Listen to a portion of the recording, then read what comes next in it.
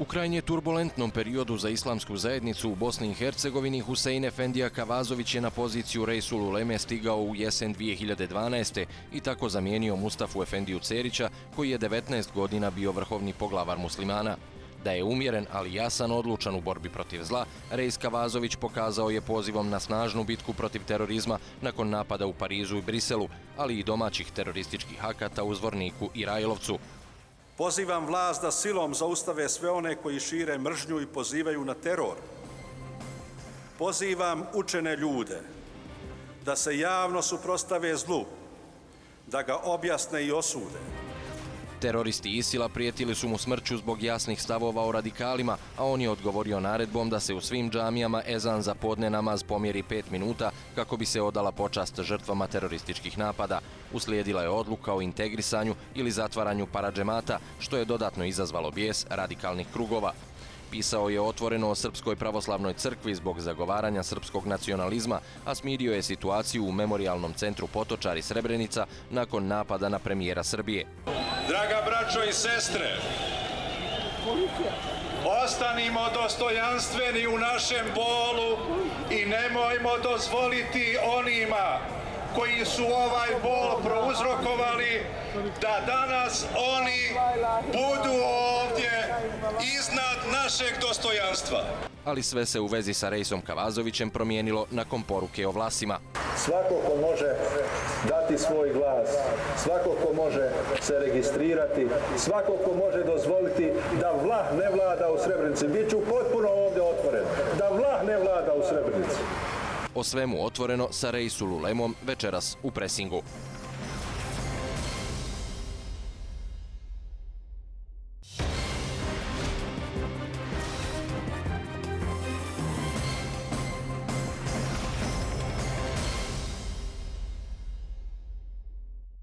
Cijenjeni gledatelji, dobrodošli u specijalno izdanje Presinga o najaktuelnijim vjerskim, političkim i društvenim temama. Prvog dana Svetog muslimanskog mjeseca Ramazana večeras razgovaram sa liderom islamske zajednice u Bosni i Hercegovini, Rejsulu Lemom, Huseinom Efendijom Kalazovićem. Hvala vam što govorite za jedan. Vi rijetko dajete intervjue i zbog toga, evo, posebno zahvalno što ste pristali da govorite za našu pomoć. Čast mi je, drago mi. Od početka mandata pa sve do nedavno, vi ste važili za jednog umjerenog e, vjerskog lidera, puno umjerenijeg od vašeg e, prethodnika e, Mustafa Efendije Cerića. Nego jedna vaša izjava, izjava u Švicarskoj da Vlah ne smije vladati Srebrenicom, uzburkala je duhove širom regije, posebno u Srbiji i Republici Srpskoj, a i u dijelu federacije, izazvala lavinu žestokih komentara, pa čak i komentari u vezi s vama kao um, vjerskom lideru koji širi uh, mržnju i, i, i nacionalnu netrpeljivost. Evo šta nakon nekoliko dana uh, od svega toga uh, zapravo vi imate da kažete? Da, naravno, pratio sam te reakcije koje su i u državi Bosni i Hercegovini i u regiji, dakle, bile i imali smo priliku da, da čujemo različite komentare na to, pa naravno i različite osvrte novinara, čak i izjednačavanja mene sa Radovanom Karadžićem i ostalom tom zločinačkom bratijom, dakle, koja je počinila genocid u Srebrenici, na koje sam se ja referirao u Švajcarskoj, dakle, pred bošnjacima, muslimanima, ljudima iz Srebrenice i tako dalje. Nisam od ljudi koji ustrajavaju u nečemu što nije u redu, dakle. Potrebio sam taj izraz u ljutnji, imajući u vidu da ono što se događa oko Srebrenice, a mi znamo da Srebrenica je uvijek na neki način u fokusu kada su izbori tamo, kada tamo treba uspostaviti vlast, nakon što se tamo dogodio genocid, nakon što su oni koji su ga planirali, proveli, dakle, sistematski, zatim ga prekrivali kao takav, da. zatim, naravno, ga poriču i dan danas. A onda su se ujedinile oko jednog kandidata koji je ispod slike Radovana Karadžića nakon osude u, ha, u presude u, u, u suda u Hagu za zločin koji je počinio genocida u Srebrenici, napisao idemo dalje. Dakle, to je bila moja reakcija na to i naravno da sam pozvao Bošnjake da, da imaju obavezu dakle, prema Srebrenici, da ne dozvolimo da Srebrenicom vladaju ljudi koji uh, poriču genocid i koji bi očito išli dalje dakle, u tome. Mm -hmm. Upotrebili ste termin vlah. Šta ste mislili po tim? Koga ste vi zapravo uh, nazvali vlah? Oni koji negiraju genocid, dakle, to je bila moje, moje, moja intencija, dakle, govora. Oni koji negiraju genocid u Bosni i Hercegovini nad, nad, nad uh, narodom u Srebrenici, Kada im kažem da su četnici, znate, oni se ponose s time. Onda tamo prave postrojavanja neka po Višegradu, po Srebrenici 12. jula, odmah nakon 11. jula, nakon dženaze. Mi smo imali sve ove skoro godine okupljanje četnika, dakle, u tom gradu. Kada im kažemo da su četnici, on se s time ponose. Dakle, oni su ponosni na to što su četnici kao takvi. Naravno, nisam sretan zbog toga što sam potrijebio taj izraz, zbog prijatelja koje imam. Imam prijatelja ali razgovarao sam sa njima. Mnogi od njih su mi kazali da me razumiju, da razumiju dakle, poruku, da naravno imaju e, svoj osvrt na to, ali da razumiju i kontekst i vrijeme u kojima sam o tome govorio. Mnogi su se našli uvrijeđeni u toj vašoj uh, izjavi, uh, političari, obični ljudi. Uh, smatraju da ste ih uvrijedili time što ste rekli vlah, samo da vlah ne vlada srebrenicom. Kakva je poruka vaša onima koje, koji se osjećaju uvrijeđenim tom vašom izjavom? Rekao sam, nisam sretan zbog toga ako sam uvrijedio te ljude, a jesam ih očito uvrijedio jer neki od njih su iskazali reakciju, ali samo prema onima koji, dakle, žalim prema onima koji su zajedno sa mnom i sa mnogim patriotima ove zemlje branili ovo zemlje, branili vrijednosti ove zemlje, dakle.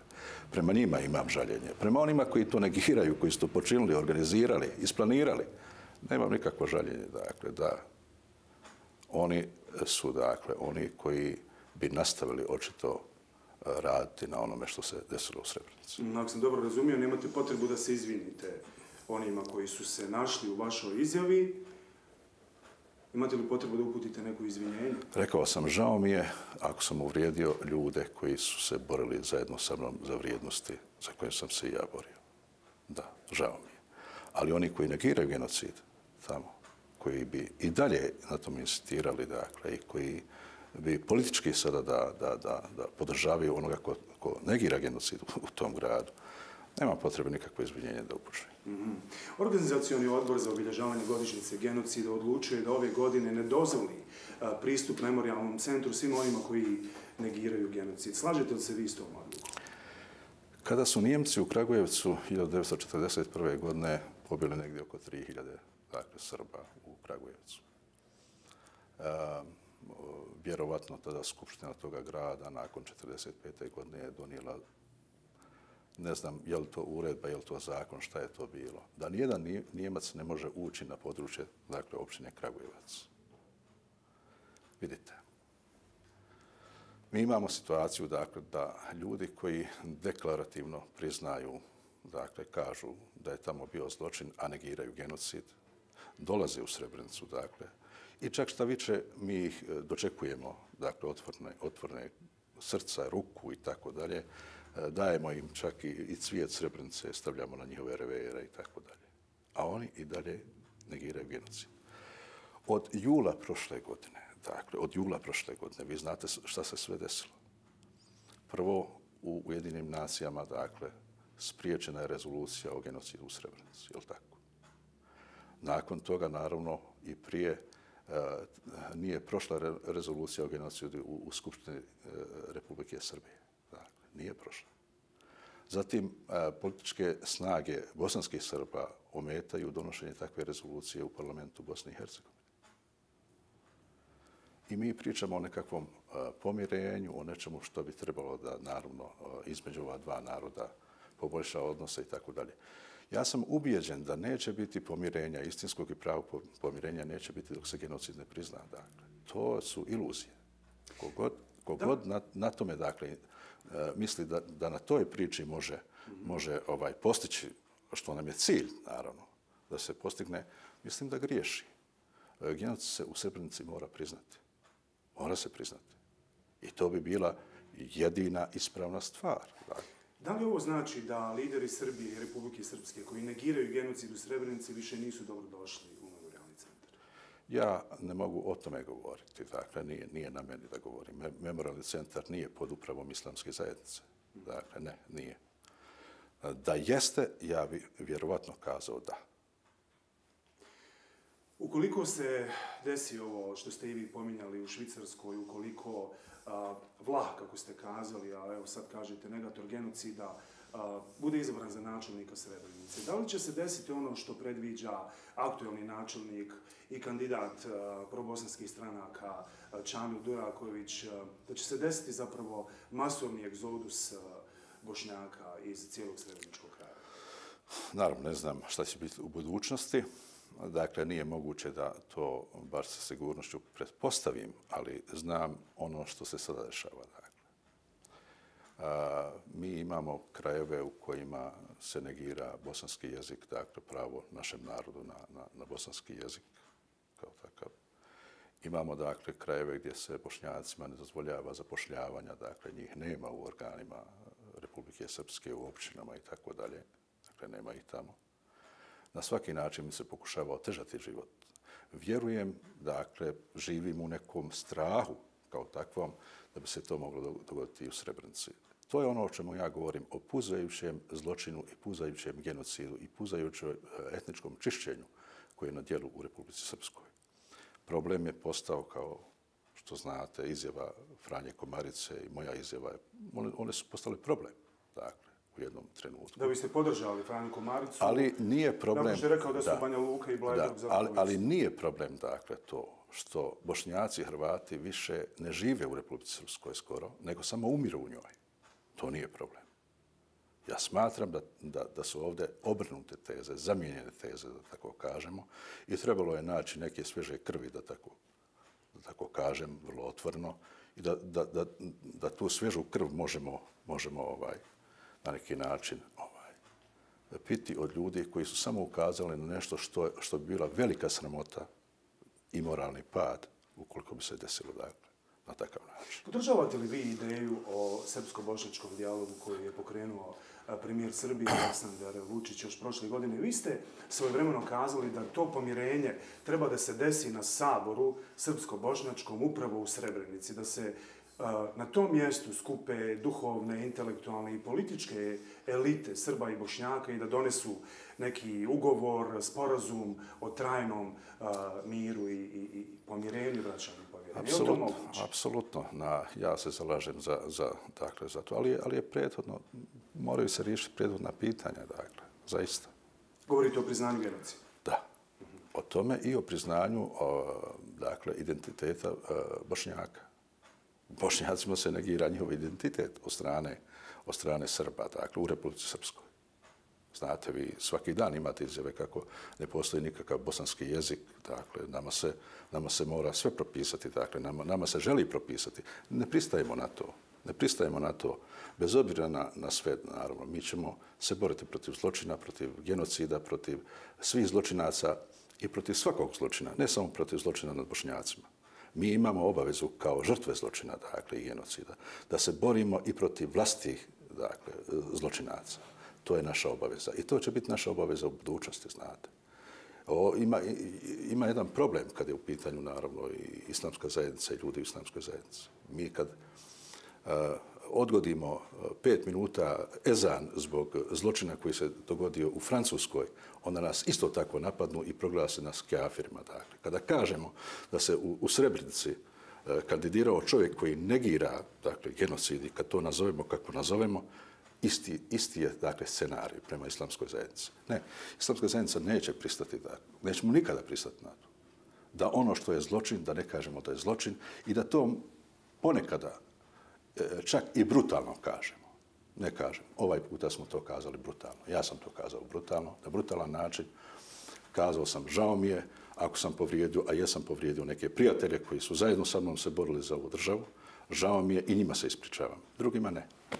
Član predsjedništva Bosne i Hercegovine, Mladen Ivanić, zamjerio vam je što ste ga stavili u isti koš e, sa Miloradom Dodikom komentarom da bi bilo bolje da je došao na dan Bijeli traka u Prijedor i na dženazu u Kalesiji nego što je išao u Beograd. On kaže da nije zaslužio tako jedno poređenje s obzirom da je jedan od političara i srpskog naroda koji je najčešće bio na stratištima bošnjačkog. Ja cijenim gospodina Ivanića, dakle, i cijenim ono što je on činio i radio i što čini i radi, naravno, cijenim, ali izabro je jako loš trenutak da ode u Beograd. Jako loš trenutak. Kako inače gledate na te odlaske po podršku uh, Ivanića i Dodika u Beograd, Čovića u Zagreb, Izetbegovića u Ankaru? Zar nije bolje da se nekako okrenu jedan drugom i trećem, nego da idu kod velikih tata i mama da ih podrže? Bilo bi bolje, naravno.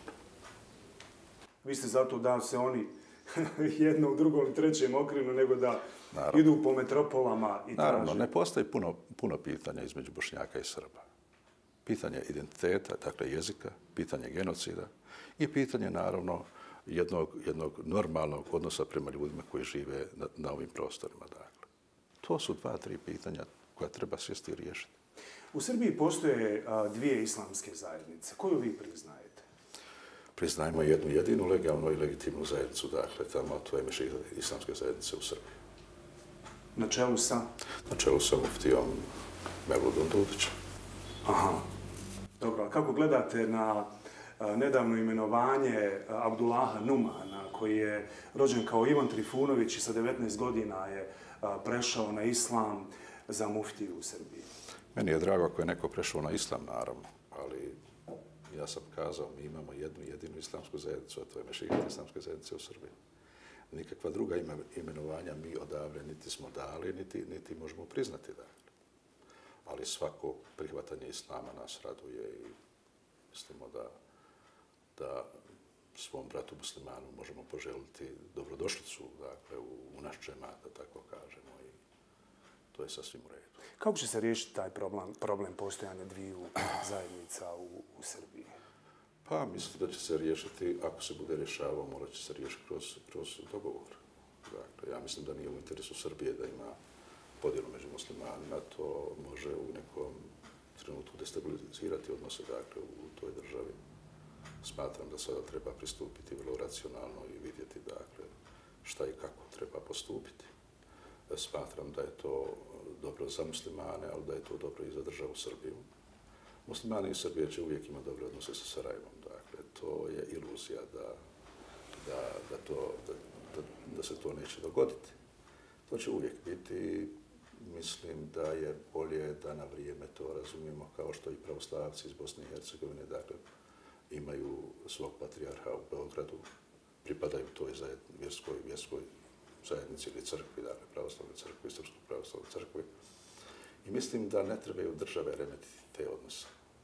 Nije u interesu, ne znam zbog čega bi bio u interesu Srbije da remeti te odnose, izuzev ako iza toga ne postoji nešto što, što mi ne znamo, što, što možemo nagađati. Vjerujete li vi premijeru Srbije Aleksandru Vučiću kad kaže a, da su srpsko-bošnjački odnosi a, od vitalnog interesa za Srbiju? To on vjerovatno bolje zna. Vjerovatno bolje zna. Ja vjerujem da je jako važno da na Balkanu vlada mir. Među narodima, među ljudima, da sarađujemo. Mi smo bliski narodi, dakle, nismo mi udaljeni narodi. Mi smo bliski narodi, dijelimo isti prostor i zajedničke vrijednosti određene narode koje imamo. E, naša povijest je bila u nekim periodima, naravno, dakle, teška. Ali nismo mi jedini na ovom svijetu, na ovom dunjalku, kako mi kažemo, koji su imali teških momenata. Imali su Francuzi i Njemci mnogo više, a, mnogo više takvih trenutaka u, u njihovoj historiji, pa su, evo vidimo sada, dva naroda koja su prijateljska, saražuju, razvijaju se ekonomski, e, nastupaju zajednički na tržištima i tako dalje. U Hrvatskoj je nedavno obilježeno 100 godina e, islama. Kad e, ocjenjujete položaj muslimana u Srbiji i Hrvatskoj, gdje je on bolji? Pa, znate, nije moguće baš porediti te dvije države. Dakle. A, muslimani u Srbiji su autohtoni muslimani, iako se država Srbija prema njima ne odnosi baš na najbolji način. Dakle, oni tamo nemaju baš sva vjerska prava zagarantirana. Muslimani u Srbiji, znate, Hrva, Hrvatska je vrlo jednom, jednom vještom politikom pridobila muslimane za sebe. Mm -hmm. Ona je tih 80. godina dala se izgradi džamija, velika džamija u Zagrebu. Beograd to odbija do dan danas, dakle.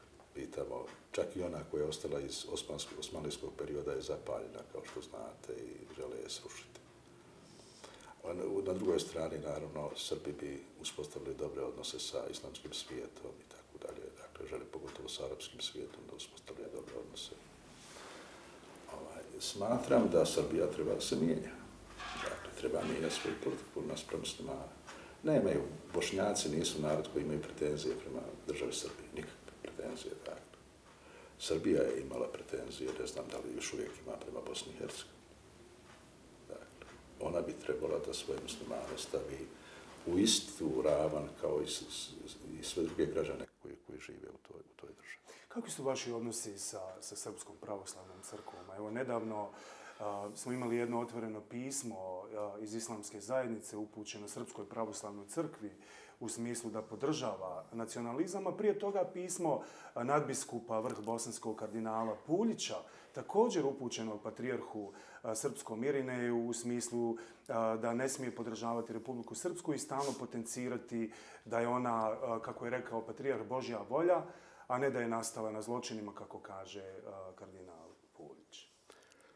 Srpska, mi, bi, mi bismo voljeli da imamo bolje odnose sa pravoslavnom crkvom. Dakle, na, problem, je, problem je možda i taj što u Sarajevu trenutno ne imamo mitropolita, odnosno vladike ovdje, ko, zato što je vladika Dobro Bosanski preminuo, dakle, jer još uvijek nisu imenovali. A, odnose sa pravoslavnom crkvom bismo voljeli da su bolji, ali da budu otvoreni, da, da kažemo ono što imamo jedni drugima. Vi znate da je bilo svakakvih izjava, naravno, u toku ovih godina o nekim vrućim kolačima, dakle, od strane patrijarha Irineja. Zatim je bilo govora o, o vladici Danilu od strane Amfilohija, dakle, i taj, taj pogrom muslimana koji se desio, opravdavanje tog pogroma, dakle, i tako dalje. Bilo je tu jako teških izjava na koje mi nismo reagirali. Dakle, nismo reagirali, smatrali smo da, evo, zbog suživota, zbog svega toga, da, da ne, ne moramo baš na svaku... Ni, A šta biste sad rekli o patrijarhu kad biste imali priliku da se vidite s njim? A pa rekao bih ono što uh, odavno treba, smo trebali, o čemu smo odavno trebali razgovarati. Dakle, o ulozi pravoslavne crkve kad je u pitanju zločin nad bošnjacima, muslimanima. Trebamo kazati, to pitanje trebamo otvoriti. Dakle, to je pitanje vjere. Pitanje pokajničko, da tako kažemo. Mi moramo tražiti od ljudi koji su to počeli da se pokaju i zločinci u, u našem narodu, dakle u bošnjanskom narodu, moramo otvoreno o tome govoriti. Kao i naravno ovi zločinci koji su počinili genocid, Srpska pravoslavna crkva mora ne, ne, ne, ne štititi to i ne veličiti to. Znate, govor 9. januara u Banja Luci u stvari ličio na veličanje svega toga. Republika Srpska nije nastala na sadnji ruža. Ona je nastala na, na, na genocidu u Srebrenici mašta ko misli o tome. Naravno, on će se naći uvrijeđeni i tako dalje. Ali to je istina. Mi nećemo prestati govoriti istinu. Mnogi su pohvalili a, to što nije bilo reakcije iz a, Srpske pravoslavne crkve sada na vašu izjavu o vlasima, rekavši kako bi bilo sad da, da vladika Grigorije kaže da su bošnjaci balije. Slušajte, nismo ni mi reagirali kad su oni govorili o vrućim kolačima, nismo. Nismo uh, reagirali kad su oni blagosli, blagosiljali te koji su počinili dakle, zločine po Bosni i Hercegovini. Nismo to radili. Naravno, svako ima pravo da reagira.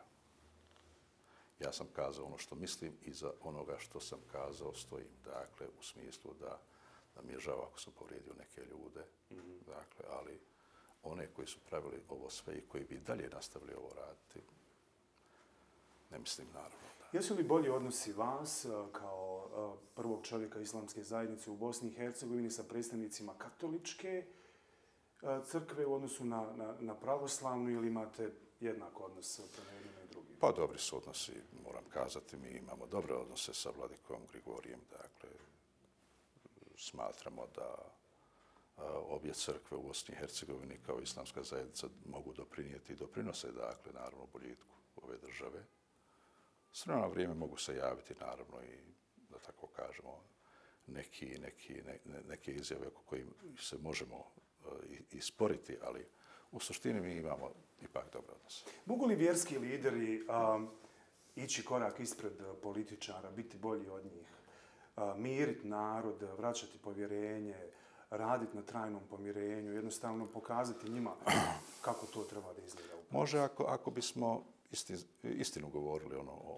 o, o onome što se događa i što se dogodilo. Dakle. Ne možete znate, ne možete po tepi gurati stvari.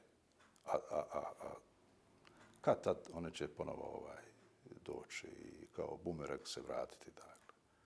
Mi moramo kazati ono što se dogodilo. Dakle, moramo, moramo jednostavno o tome govoriti. Mi moramo svjedočiti istinu. Kako ćemo, kako ćemo prelaziti preko toga? Moramo svjedočiti istinu. Možemo, moramo kazati kad je neko zlo ovaj u pitanju da je to zlo. Makar se to radilo i, i o teškim riječima ponekad. Nemamo pravo na šutnju. Treba kazati da zlo se dogodilo, treba ljude izvesti ovaj, na put kajanja, dakle, treba priznati to što se dogodilo i nakon toga krenuti, krenuti eh, jednim, jednim normalnim putem. Nije moguće to sve negirati, a tražiti neke dobre odnose. To se neće dogoditi. Kako komentirate a, najnovije političke sukobe u vezi sa objavljivanjem rezultata a, popisa? Evo sve je izvjesnije a, da će Bošnjaka biti 50% i više, a, Srba nekih 32%, Hrvata 15%. Um, što u suštini može značiti taj broj od 50% Bošnjaka u zemlji a, tri konstitutivna naroda? Postoji li opravdana bojazan od preglasavanja a, Srba i Hrvata, kako je to trenutno na političkoj sceni ovako vrlo, vrlo jasno izneseno? Pa ne, vi znate da u Bosni i Hercegovini postoje, da, dakle da je to dvodomi sistem, da tako kažemo, da imate predstavnički dom i da imate domove naroda. Dakle, nije moguće preglasavanje u Bosni i Hercegovini. Imamo tri konstitutivnog naroda i nikakvo preglasavanje nije moguće. Problem je u percepciji, dakle. Problem je u, u, u tome da da neko smatra da, da bošnjaka muslimana ima previše ovdje. I mi znamo koji je razlog bio, jedan od razloga zbog čega je pokrenuta agresija i ovakav brutalan zločin protiv bošnjaka jeste bojazan da bi oni možda nekad mogli biti, ne znam, nija neka, neka, neka većina koja i tako dalje. Šta će se dogoditi, kaže, pretpostavljam, šta će se dogoditi ako bošnjaka za 10 ili, ili 15 godina bude 60%? Ili ih treba pobiti da bi ih sveli ispod, ispod 50%? Je li to, je li to način? Ili Srba ako bude 60%, šta trebamo raditi? Ili Hrvata? Dakle, to, to su, znate, to, to, to, to su iracionalne stvari. To, to je potpuno jedno, jedno, jedno iracionalno razmišljanje. Dakle. Ni jedan narod drugom ne, ne može spriječiti da, da, da biološki raste, da se razvija i tako dalje. Dakle, to nije pitanje, to nije pitanje Bošnjaka ili Srba ili Hrvata. To je sasvim, sasvim drugo pitanje. Ali zaboravlja se da u odnosu na predratni broj stanovnika Bosna i Hercegovina prema novom popisu obavljenom 2013. će imati 900.000 ljudi manje nego prema popisu iz 1991. godine. Procjene UN-a su da će do 2100. te ovdje biti ispod 2 miliona ljudi, a da za 300 godina ovdje neće živjeti niko. Ma da, naravno, to su sada, da tako kažemo, te špekulacije. Bog će naseliti ovdje neke druge ljude. ne trebamo se mi uopće, uopće s time... Ovaj, Koje druge ljude? Pa doće ljudi iz Afrike, doće iz Azije, doće iz Amerike, doće odnekle ljudi, znate. Ne, nigdje prostor nije, ne ostaje prazan. Ljudi naseljavaju. A to što se mi gložimo, bošnjaci, srbi, hrvati, što se međusobno istrebljujemo i tako dalje, pa jednog dana će ljudi koji ovdje razvijaju biznis, ako potraje mir, uvesti radnu snagu. Biće im potrebna radna snaga, neće je biti. Dakle, uvešće odakle, kao što i Evropa sada, ovaj, naravno, tu radnu snagu uvozi. To su i kod naših naroda ima jako puno iracionalnosti. Dakle. To, to, to. E, suština je u tome, dakle, da mi trebamo jedni s drugima, dakle, jedni drugim pogledati u oči i kazati, dobro, dogodila se ta prošlost, hajde da podvučemo i da kažemo, dogodila se genocid, zločin, što god, dakle, treba, treba to priznati i kazati, završimo s tim. Ovdje žive tri naroda, priznajmo njihove identitete, Da. završimo s tim. Zašto? Zbog čega? Kome to, kome to ide u, u prilog? Ide u prilog jednoj maloj grupici ljudi koji na tome, da tako kažemo, na tom politikanstvu ovaj, sukobljava stalno ove narode i stalno, stalno ovaj, provocira, dakle, provociramo jedne druge. Iselit će se ljudi odavde, naravno, traži neke mirnija, mirnija, mirnija područja, vjerovatno. I to je ono što što mene začuđuje, dakle, da mi sve ove godine znate, otište u Konjević polje, otište onu djecu dole u Kasavi pa da vidite u, kakvo, u kakvim uslovima oni uče. Zbog čega? Zbog čega to Republika Srpska radi? Zbog čega gospodin Ivanić negira bosanski jezik? Zbog čega to radi? Je li to u njegovom interesu? Je li to u srpskom interesu? Nek, nek nam to kažu. Zašto naša djeca u urbanicima eh, ne idu u školu kao i sva normalna djeca, nego u Mektebu održavaju nastavu? Zašto to rade? To uh, jednom moramo postaviti pitanje, znate. Zbog čega je to tako? A zbog A čega, onda... šta vi mislite? Evo vi kažete da je, dakle, ako se prizna šta se desilo, moguće povjerenje, moguće pomirenje i moguć trajni mir ovdje. A šta ako se to ne desi? Imaćemo ovo što imamo. Mučenje, dakle, stalni bol, stalnu patnju, to ćemo imati. Živećemo u tom. A vjerovatno da će, dragi Bog, neke normalne ljude, da, kažu, čekajte ljudi.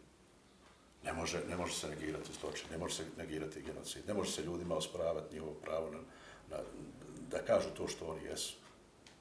Ne može to, to, to.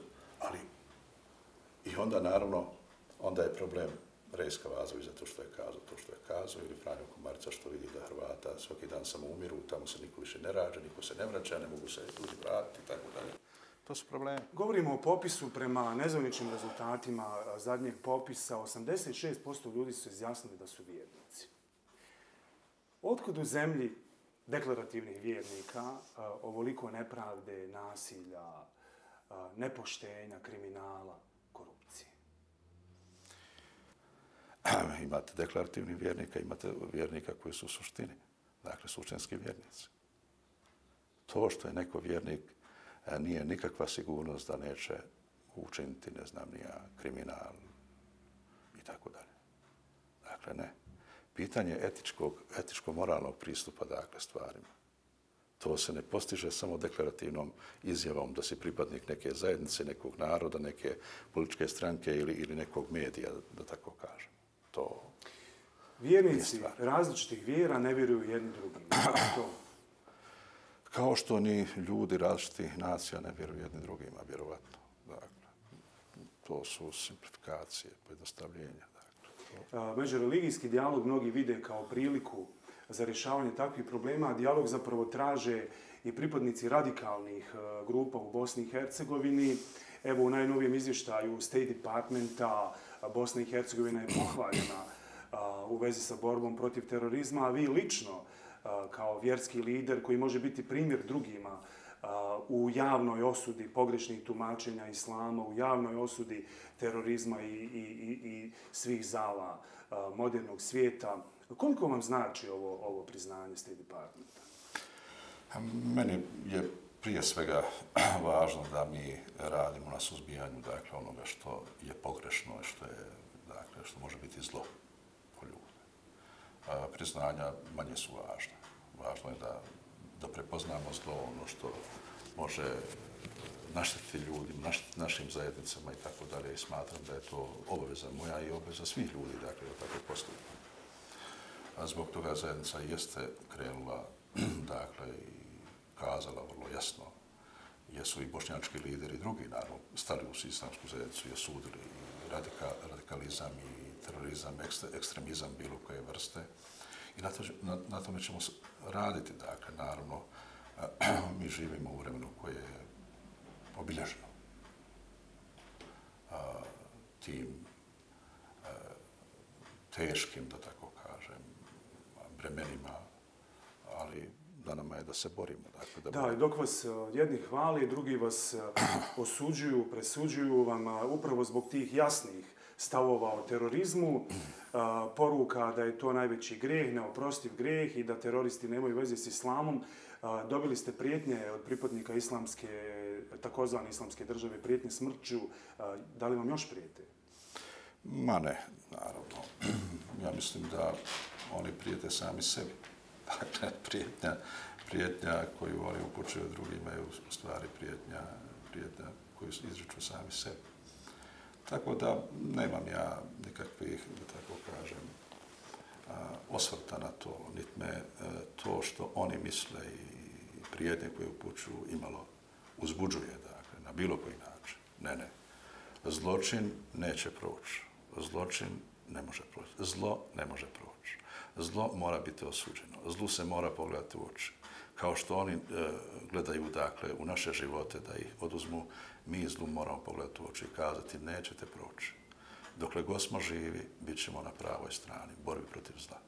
Dakle, nije moguće da se mi predamo, a da vi e, našim životima i životima naše djece vladate. Dakle, to Hoće li bošnjaci spasiti vjeru uh, od radikalizma, kako je poručeno na uh, sastanku koji sada pominjete vas sa, sa političkim liderima svih bošnjačkih partija? Pitam vas to posebno u, u, u svjetlu vašeg jasne, jasnog stava i, i borbe koja je pokrenuta protiv pripadnika radikalnih grupa okupljenih u, u džemate? Bošnjaci su uvijek, naravno, bili narod koji je svoju vjeru uživio onako kako je ona utemljena u vrijednostima. To je, dakle, jedan srednji put, vrlo otvoren za sve ljude, dakle, koji žele žive u miru. Mi smatramo da je najveća vrijednost, dakle, islama upravo mir i da naše istrajavanje na tome mora biti, dakle, nesebično, bez obzira na cijenu koju mi možemo platiti ili koju plaćamo. Bošnjaci su ovdje star narod, star evropski narod sa jako dugom tradicijom. Dakle, i oni imaju svoje ustanove, imaju svoju islamsku zajednicu, imaju svoje džemate. Pokušaj da, da ih se dezintegrira, dakle, na toj duhovnoj ravni, neće uspjeti. Tako da ne postoji neka velika zabrinutost za to, ali moramo biti budni, dakle, moramo posmatrati to što se dešava. Šta će se desiti sa parađematima koji nisu pristali da se integriraju u, u islamsku zajednicu Bosne i Hercegovine? Jesu li oni sada vaša briga ili briga države? One su briga društva svakako. Zašto to kažem? U otvornom društvu, kako je bosansko-hercegovaško društvo, ne mogu postojati zatvorena društva. Dakle, oni su briga svih nas i mi moramo svi raditi da a, dakle, a, takve ideologije ne prođu i da takvi načini organiziranja ne prođu. Tražili su dijalog s vama, odbili ste pregovore sa koordinacijom parađanata, zašto? Oni su tražili dijalog o nečemu što, na što mi ne možemo prihvatiti, pristati. Dakle, mi ne možemo pristati da oni uh, i dalje nastave raditi to što rade, da nastave uh, širiti tu ideologiju koju šire. Dakle, i tu nema pogađanja, kazali smo. Ne. Ali smo mi sa njima razgovarali na nižim razinama, dakle. Mm -hmm. I naši imami su sa njima razgovarali, naše muftije su sa njima razgovarale, mi nismo odbili dijalog kao dijalog. Ali ono što su oni željeli jeste da izdejstvuju da islamska zajednica na neki način kaže pa evo sve u redu, sve i tako dalje. Nije u redu nije u redu i mi imamo ozbiljan pregovor dakle, tim ljudima. Mm, hoćete li im dopustiti da formiraju paralelnu vehabijsku islamsku zajednicu u Bosni? Pa, znate, u ovoj zemlji ima, postoji zakon. Niti ja odobravam, niti mogu zabraniti. Dakle, ne. Islamska zajednica je nevladna organizacija. Mi, mi nemamo tu. Mi se ponašamo u skladu sa zakonom ove, ove države i tražimo da se svako ponaša u skladu sa zakonom. Ako zakon nešto dozvoljava, ko sam ja da to zabranjujem? Ako nešto zabranjuje, ko sam ja da to dozvoljava? Dakle, neka se svako ponaša u skladu sa zakonom, pa i država. Koliko shvatam, oni su sada briga društva države, a ne islamske zajednice, to mislim da želite reći.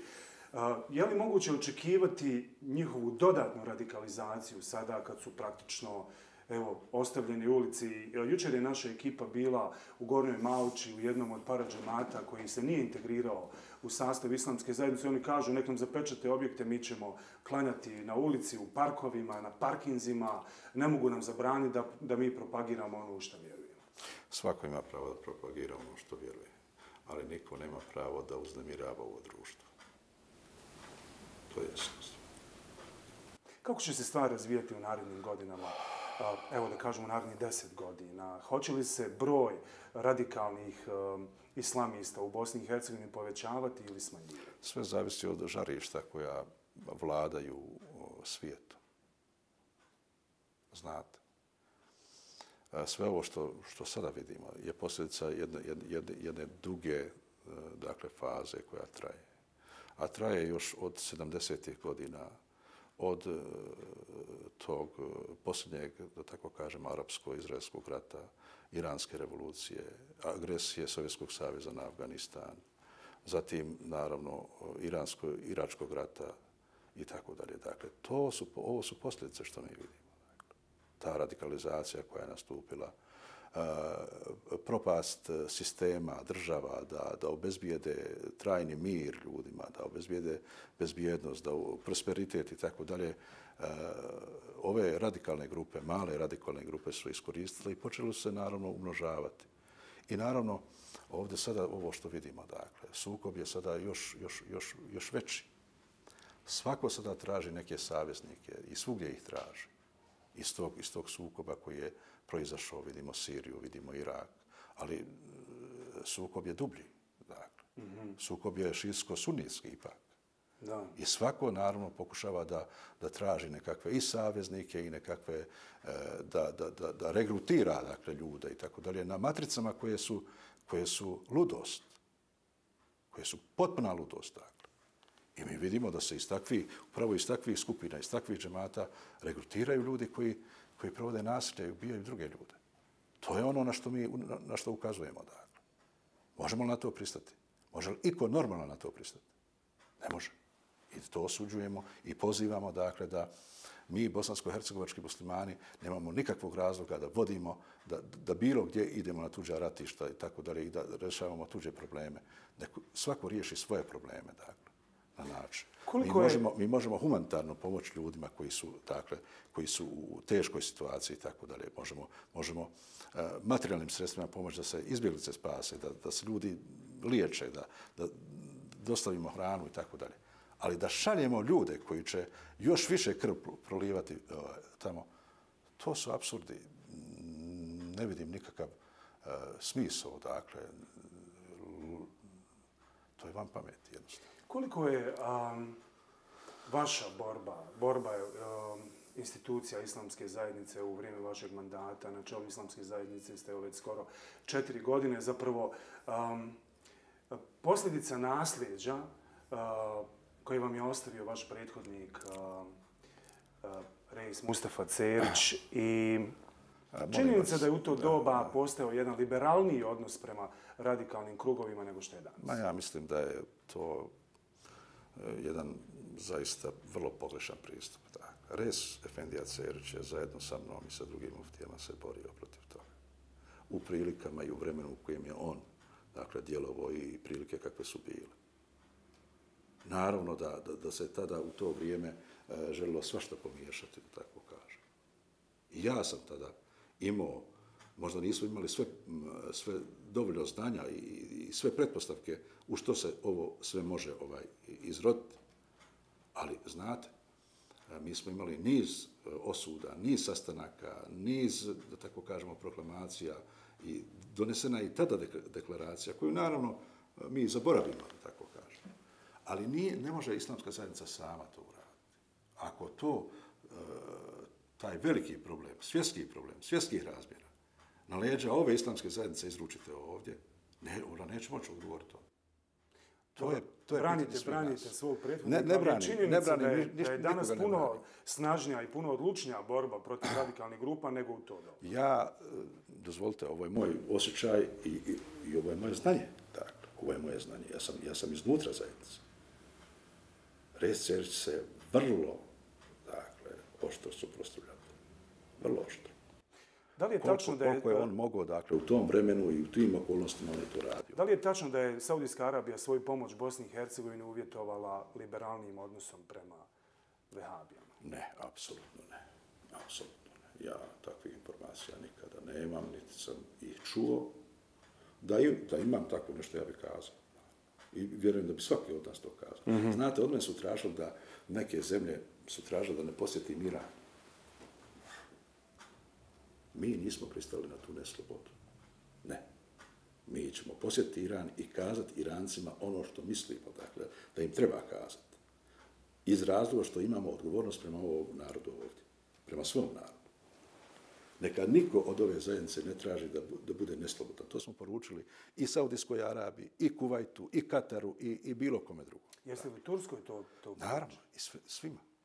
Niko od ove zajednice neće tražiti da ona bude neslobodna. Reis Cerić, prethodnik vaš o kojem sad govorimo, znao je reći da je Turska majka Bošnjaka. Je li to tačno? Je se slažete se vi s tim? Slušajte, Turska je prijateljska zemlja, dakle, Bosni i Hercegovini i svim njenim narodima. Dakle, mi sa Turskom dijelimo jednu povijest koja je s turskim narodom, ne, ne s Republikom Turskom, nego mm -hmm. sa turskim narodom, dijelimo jedan, jedan krug, jedan e, civilizacijski, kulturni civilizacijski krug.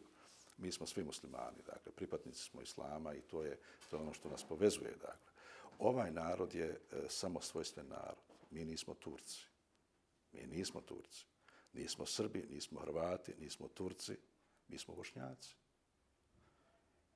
Prijateljstvo sa svakima, dakle, želimo sa, sa svima prijateljstvo i sa Turcima, i sa Arapima, i sa našim komšijama, našim susjetima i tako dalje. Ali mi smo Bošnjaci. Nema nikakvih razloga da nas neko svojata, niti ima ikakvog razloga da, da mi budemo nečiji priljepak. Tako. Papa Ivan Pavlo II. koji je prošle godine posjetio Bosnu i Hercegovinu i odeslao poruke kako treba ići u među, međureligijsko pomirenje i dijalog, e, jasno je rekao nedavno da ukoliko muslimanke žele nositi hijab, da im to treba i omogućiti. Um, Visoko sudsko i tužilačko vijeće zabranilo je Uh, ulazak pokrivenim ženama u pravosudne institucije. Bojite li se da bi taj primjer mogli slijediti i druge uh, državne institucije? Pa naravno se bojimo. Bojimo se iz nekoliko razloga. Prvo što islamska, islamskoj zajednici sprečava da potpiše ugovor sa državom, dakle, u kojem bi se garantirali sve ono što već postoji u zakonu. Ovdje, ovdje je u pitanju kršenje zakona, dakle, zakona o slobodi vjere. E, Visoko tužilačko vijeće niti je parlament da o tome odlučuje, dakle, ne može ono donosi zakone, a takvog zakona nema ako takvo jedno tijelo, jedna agencija, dakle, može se pretvoriti u zakonodavno tijelo ove države, onda u redu. I to, i to na najosjetljivijim pitanjima, pitanjima ljudskih, ljudskih prava i sloboda. To je absurd. Ali u ovoj zemlji apsurda i to je moguće. Pomenuli ste da islamska zajednica još uvijek nema ugovor sa državom Bosnom i Hercegovinom. Zašto se to još nije potpisalo. Posebno vas to pitam u svjetlu izjave člana predsjedništva Bosne i Hercegovine iz Republike Srpske Mladena Ivanića koji je rekao da neće dati odobrenje na takav ugovor dok se katolička crkva i pravoslavna crkva ne usaglase a, sa tim ugovorom. A Dodik je odšao korak dalje i rekao da je taj prijedlog ugovora neprihvatljiv jer predstavlja uh, diktat šerijata. Kada su ove dvije crkve potpisivale ugovor islamsku zajednicu, niko ništa nije pitao. Niti smo se apsolutno uplitali dakle, u to.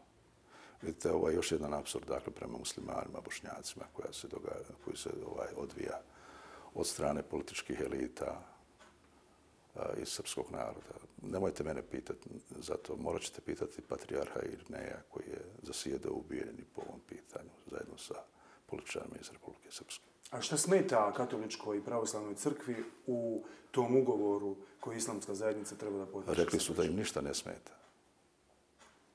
Ali, očito nešto smeta. Vi, vama nisu rekli šta je to? Ne.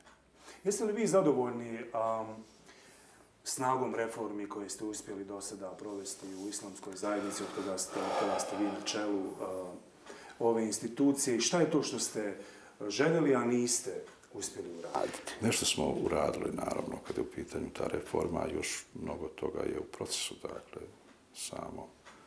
Još uvijek nismo potpuno eh, reformirali taj srednji nivo, dakle, u islamskoj zajednici. Pri kraju smo, dakle, tog, tog procesa.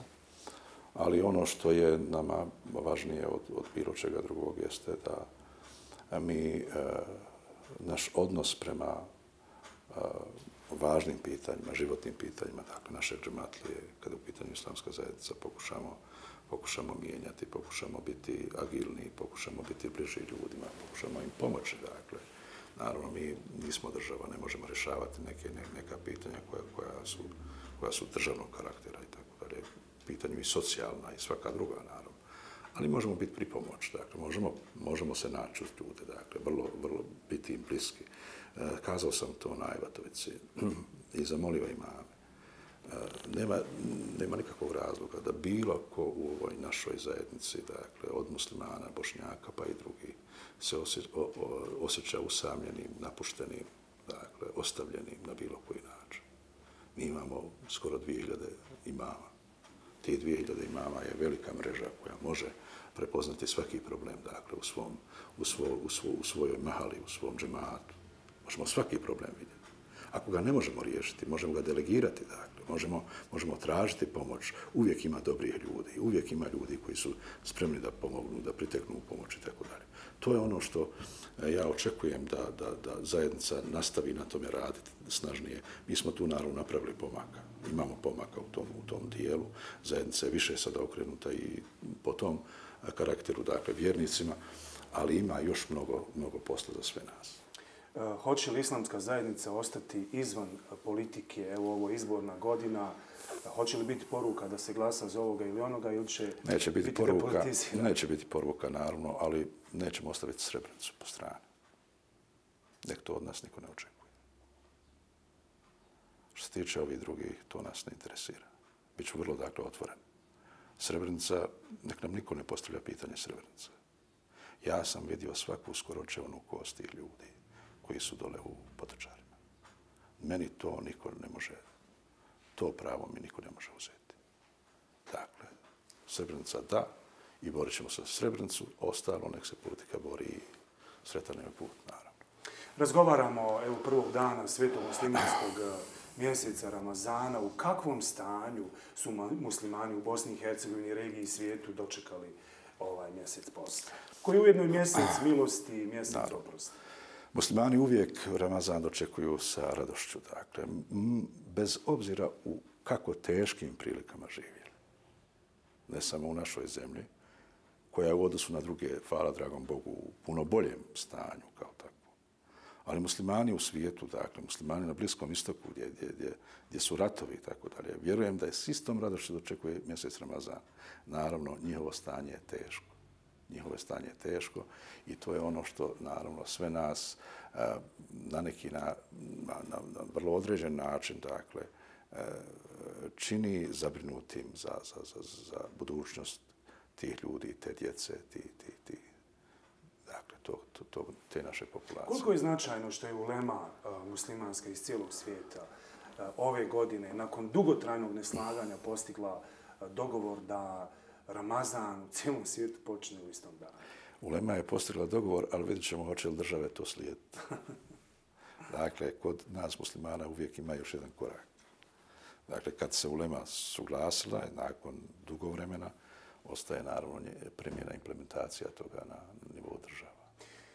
Kako je a, duhovno stanje naroda u Bosni i Hercegovini? Evo, ne mislim samo na muslimane, ali evo, pošto sama razgovaram prije svega a, pričamo o muslimanima, e, s obzirom na teško ekonomsko stanje, na veliku nezaposlenost, na činjenicu da veliki broj ljudi odlazi iz zemlje, da su a, mladi ljudi bez perspektive, da su im idoli neke lažne zvijezde. Može li uh, duhovno pobijediti materijal?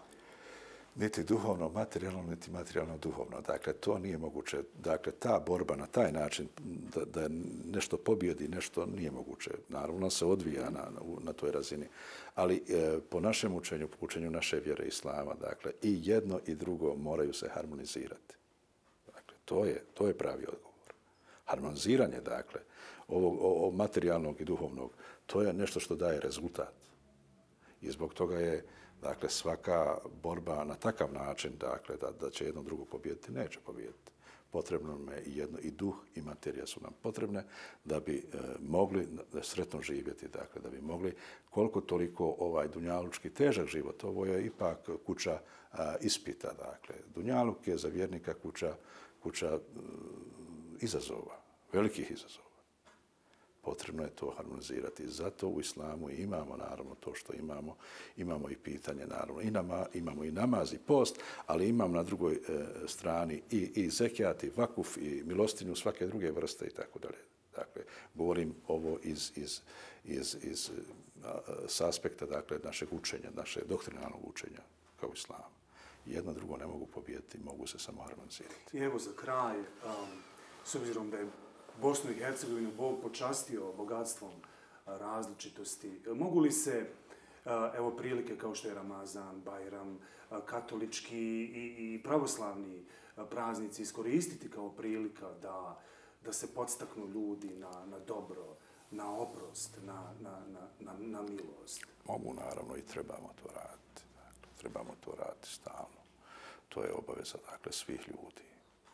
Dakle, nije to samo obaveza vjerskih eh, službenika, dakle, to je obaveza svakog muslimana da radi na tome, kao što je obaveza i svakog katolika i pravoslavca, dakle, da, da to promičemo to dobro, dakle, da upućemo ljude jedne na druge i to je najveća vrijednost koju u stvari imamo. A to je to život u tom zajedništvu, u toj, u toj različitosti, dakle, kao tako. Ali o, ponovo želim samo kazati da, da ovo ne ispadne nikakva patetika, ne s onima koji čine zlo. Ne, sa njima ne. Hvala vam, poštovani gledatelji. Bio je ovo pressing specijal sa Rejsul Lemom, islamske zajednice u Bosni i Hercegovini, Huseinom Efendijom Kavazovićem. Doviđenja.